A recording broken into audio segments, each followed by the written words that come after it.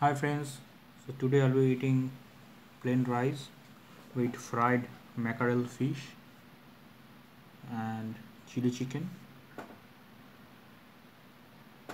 and dal to Lester.